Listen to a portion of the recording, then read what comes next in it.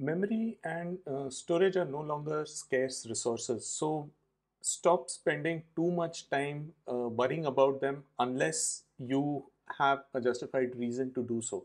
So try to do as many operations in memory and try to store your state to storage uh, as necessary for uh, sake of writing stateless applications.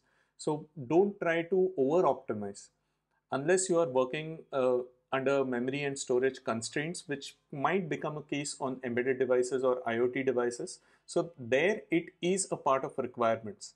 Unless memory and storage uh, is not a part of requirements, you can be a little generous about them uh, because uh, over optimizing can lead to a suboptimal code for no reason. So just don't try to uh, prioritize them unless it is necessary. Ideally, you should be using data types which are uh, fitting your use case perfectly. So if you are running a short loop only for let's say 100 elements, then a short data type uh, for that particular variable will do. But this is not true in all the languages where you will have this fine, finer nuance.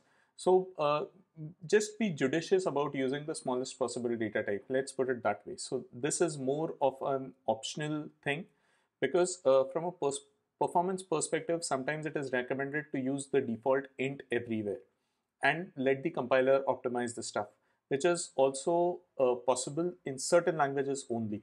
So just try to understand the uh, data type system of your language and use it judiciously. But definitely don't uh, go for the overkill like using long everywhere. So be judicious with your data types and it can help you in saving certain space.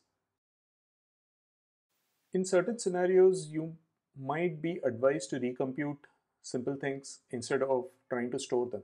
So uh, if you are taking, uh, let's say, a logical operation or uh, of two values, uh, then it doesn't make sense to store it in another integer. You might as well just recalculate it because the uh, bitwise operations are much faster. So instead of trying to access that memory, recomputing uh, things in the cache will be much faster. So uh, this was a very low level example. Even at a higher level, you can uh, assume that if you are holding a lot of information in memory, instead of uh, trying to just uh, make another query call to the cache, then also you are uh, kind of not using the resources optimally. So you can just rerun a query and get certain information instead of trying to store it uh, and trying to come up with some kind of a unoptimized cache in your application.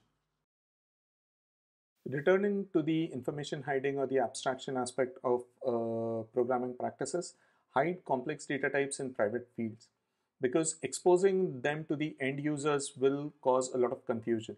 So always have users access them through uh, different APIs without actually knowing how the complex data type internally is defined and getting used. From a general application perspective, uh, you are advised to store data in text format or something like JSON compared to binary formats because the uh, compaction and the other uh, parsing details of binary formats can get complicated. So you have to write dedicated parsers and you have to write compatibility uh, interfaces for other systems to interact with your binary format. So in general, if you are working with applications, start with text as your default way of storing information. When performance and other things become critical, that's when binary formats can become justified and you can use them. So if unless you are writing a database kind of a system, using binary formats is just not justified. So uh, work with JSON, work with uh, text-based formats which are easy to parse and which the other systems can adapt to easily. So if you're using JSON, any other language using a JSON parser can read your data.